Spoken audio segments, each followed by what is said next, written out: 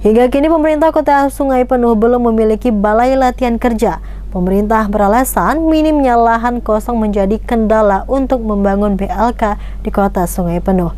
Kami akan terus memperbaiki informasi Anda melalui program JEK lainnya. Selain itu, berita JEK juga dapat diakses melalui official media sosial JEK di bawah ini.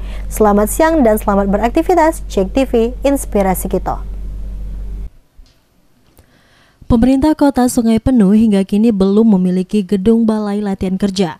Hal ini disebabkan untuk membangun gedung BLK, Kota Sungai Penuh membutuhkan luas lahan sekitar 5 hektar.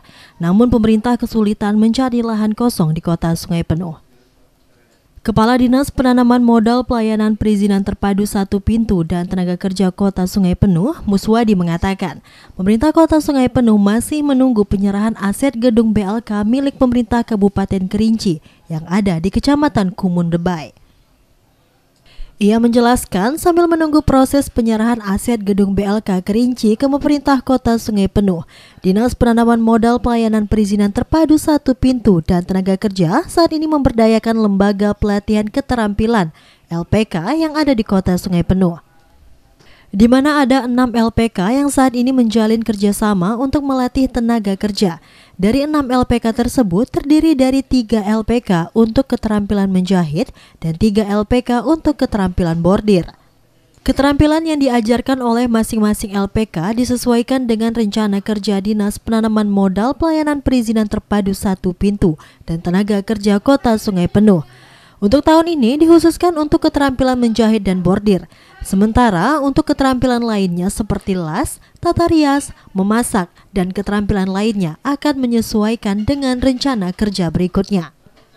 Untuk tahun 2018 ini, Dinas Penanaman Modal Pelayanan Perizinan Terpadu Satu Pintu dan Tenaga Kerja telah menganggarkan dana 465 juta rupiah untuk melatih tenaga kerja di enam unit LPK tersebut sasaran RPJM ya. Sampai 2021 Kota Sungai Penuh harus memiliki satu BLK ya Balai Latihan Kerja. Akan tetapi untuk saat ini ya, kita untuk membangun satu BLK kita harus menyediakan lahan yang cukup luas yaitu 5 hektar untuk satu unit uh, BLK Sebelumnya, pada tahun 2017 lalu, LPK yang bekerja sama dengan Dinas Penanaman Modal Pelayanan Perizinan Terpadu Satu Pintu dan Tenaga Kerja, tingkatannya masih dasar. Sedangkan untuk tahun ini telah meningkat menjadi terampil, dan hal ini berpengaruh pada sertifikat yang diperoleh setelah mengikuti pelatihan. Fendri, Cek TV, melaporkan.